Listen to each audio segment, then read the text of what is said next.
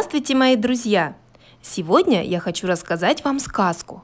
А про что эта сказка, вы узнаете, если отгадаете загадку. Слушайте внимательно. Знает даже не знаток, гвоздь сбивает молоток. Сказка о молоточке. Однажды на лесную полянку пришел Мишка. Он походил по полянке и никого не нашел. Мишка оставил свой след. А почему остался такой след? Правильно, потому что в слове «мишка» два слога. Произнесите вместе со мной слово «мишка». Мишка. А сам Мишка ушел искать друзей. В это время на полянку выскочил Зайка. Он уже давно бегал по лесу в поисках Мишки. Мишку он не увидел, но заметил след и сразу подумал, что здесь был Мишка. Зайка решил позвать его. «Мишка! Мишка!» – закричал Зайка. Но Мишка не слышал – и тут зайке на помощь пришел волшебный молоточек. Он ударил по одному слогу, и слог прозвучал громко-громко и очень долго. «Мишка!» Мишка сразу услышал, что его зовут, и пришел. Зайчик был рад другу, а след Мишки стал таким. Посмотрите внимательно.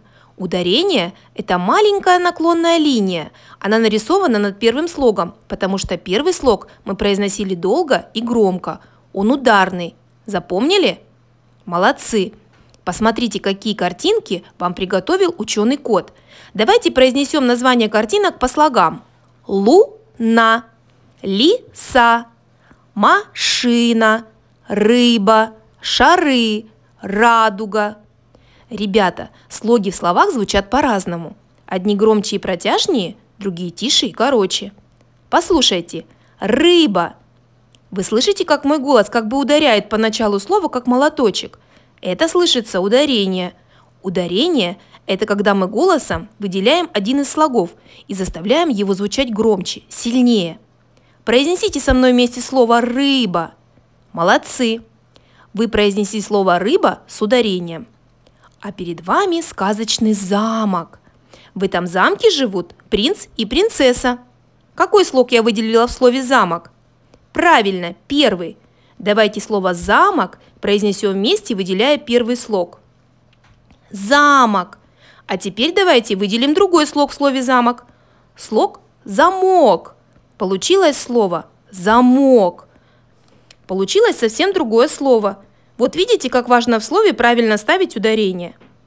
Ребята, а вы любите отгадывать загадки? Тогда слушайте. О каком предмете мы говорим? Круглое, сладкое, румяное. Конечно, яблоко.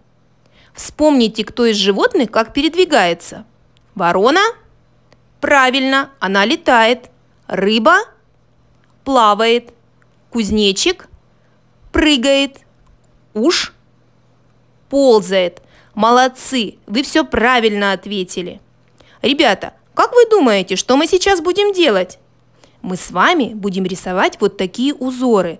Рассмотрите их внимательно и вместе с мамой выполните узоры. У вас обязательно все получится. А наше занятие закончено. До новой встречи, мои друзья!